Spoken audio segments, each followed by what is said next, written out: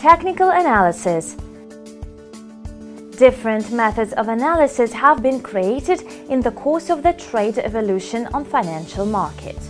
These methods contribute to accurate market forecasts and therefore gainful trade. At the early stages of forex trading, it was easy to get lost in a maze of dubious methods of market forecasting. However, in the course of time, only the most viable and efficient methods took shape and gained recognition. Basically, types of analysis have separated into fundamental and technical. Let's have a look at these concepts. Fundamental analysis is used to forecast a price direction on the grounds of fundamental data, such as macroeconomic indicators, political events, and even weather factors. This kind of analysis is more practical to forecast a price dynamic in the long or medium term. The other kind of analysis, technical analysis, suits much better to make a short-term forecast. Technical analysis is based on analyzing patterns of a crowd activity which has already been affected by some market drivers. From the angle of technical analysis, there are some principles and correlations which determine further market developments.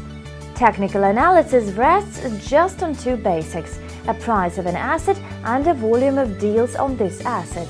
Technical analysts believe these two indicators display the historical performance of the market. They are enough to assess a market situation and determine what trend will continue in the future.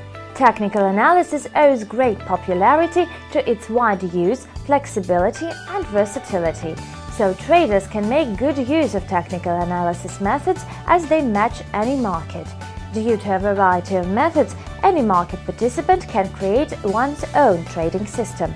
Technical analysis is an assessment of a market dynamic by means of charts and indicators with a view to forecasting a further price direction.